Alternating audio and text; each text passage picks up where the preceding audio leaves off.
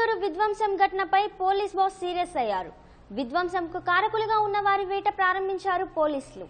ఘటనా సమయంలో చిత్రీకరించిన వీడియో ఫుటేజ్ల ఆధారంగా నిందితులను గుర్తిస్తున్నారు పోలీసులు. విధ్వంసం సమయంలో వదిలి వెళ్ళిన వాహనాల ద్వారా వారి వివరాలు సేకరిస్తున్నారు. Three naught seven three twenty four సెక్షన్లతో పాటు మరికొన్ని ఇతర సెక్షన్ల కింద కేసులు నమోదు చేశారు పోలీసులు. ప్రభుత్వ ఆస్తుల ధ్వంసం చాలా విచారకరమన్నారు ఎస్పీ. పోలీసు చేయడం విచారకరమన్నారు. పాత గుంటూరుతో పాటు ఇతర ప్రాంతాలలో వన్ ఫార్టీ ఫోర్ సెక్షన్ సాగుతోంది. ఘటనకు సంబంధించిన వివరాలు మా చీఫ్ రిపోర్టర్ అలీ అందిస్తారు. నిన్న రాత్రి జరిగిన విషాద ఘటన. ఈ ఘటనతో పాతగుంటూరు పోలీస్ స్టేషన్ పాక్షికంగా దెబ్బతింది. ప్రభుత్వ వాహనాలను పూర్తి స్థాయిలో ధ్వంసం చేశారు. ఏదైతే ప్రజల్లో వచ్చిన ఆక్రోశం కానీ ఆవేశం కానీ పూర్తి స్థాయిలో వాళ్ళ ఉగ్రరూపం అనేది చూపించారనేది కూడా చెప్పాలి. ఏదైనా ఇట్లాంటి చర్యల మీద పోలీసు ఉన్నతాధికారులు కూడా చాలా సీరియస్ అయ్యారు. ఈ సీరియస్ మీద అంటే ఇట్లాంటి ఘటనలు మళ్ళీ పునరావృతం జరగకుండా ప్రభుత్వ ఆస్తులను ధ్వంసం చేయకుండా ఉండేందుకు తీవ్ర స్థాయిలో హెచ్చరికలు కూడా చేశారు. ఇప్పుడే ఎస్పీ అర్బన్ ఎస్పీ మా చెప్పిన దాఖలాలు చూస్తే ఇప్పుడు ఏదైతే ఈ దాడికి ఈ ధ్వంసానికి పాల్పడ్డారో వాళ్ళ మీద త్రీ నాట్ సెవెన్ కేసుతో పాటు ఇన్ని ఇంకొన్ని ఆల్టర్నేట్ సెక్షన్స్ కింద కేసులు నమోదు చేశాము. వాళ్ళని త్వరలోనే అరెస్ట్ చేస్తాము అని కూడా చెప్పినారు. ఏదైతే ప్రజల్లో వచ్చే ఆగ్రహం కానీ ఆగ్రహాలు కానీ ఈ విధంగా మలుపు తిప్పకూడదు అనేది కూడా పోలీసు ఉన్నతాధికారులు ఉన్నతాధికారులు చెప్తున్న పరిస్థితి. ఇప్పుడు మనం ఈ దెబ్బతిన్న వాహనాల దగ్గరికి వెళ్తాం.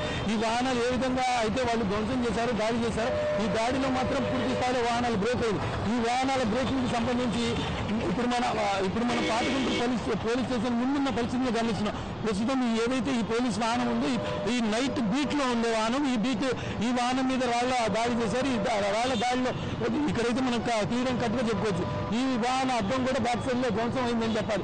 అదేవిధంగా మన ఇంకో వాహనం ఇక దీని మీద ఇలాంటివి చాలా వాహనాలు ధ్వంసం చేశారు.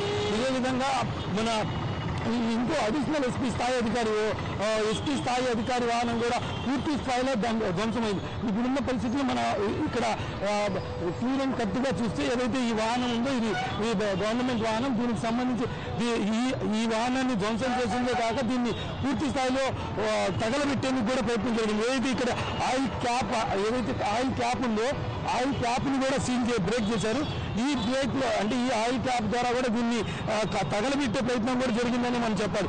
ఇది ఏ స్థాయిలో ఎంతమంది ఈ విధ్వంస కాండలో పాల్గొంటారనేది ప్రత్యక్షంగా ఈ వాహనాల మీద జరిగిన దాడిని చూస్తే మనం పూర్తి స్థాయిలో చెప్పుకోవచ్చు.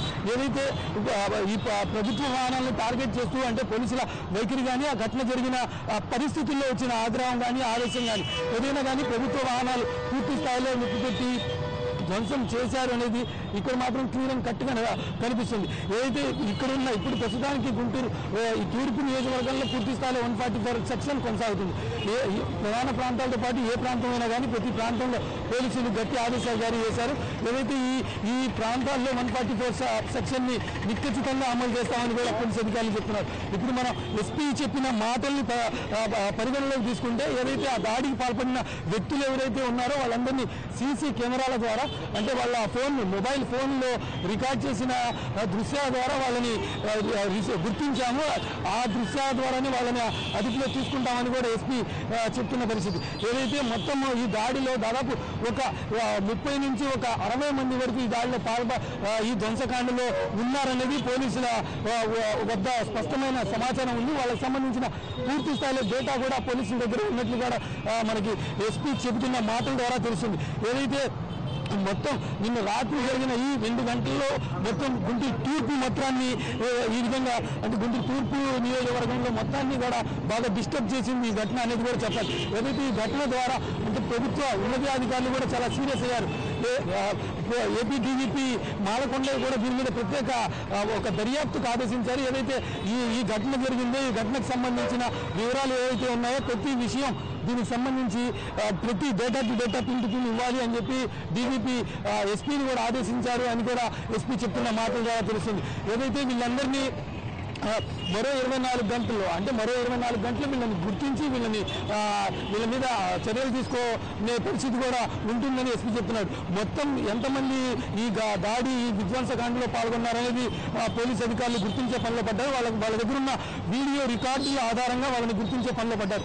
ఏదైతే వీళ్ళ ఏదైతే వీళ్ళందరూ ఈ ధ్వంసకాండలో విధ్వంసాలకు పాల్పడ్డారో వాళ్ళందరి మీద three naught seven three twenty four అలాగే ఇంకొన్ని ఆల్టర్నేట్ సెక్షన్ల కింద కేసులు నమోదు చేశామని ఎస్పీ చెప్తున్న మాటలు.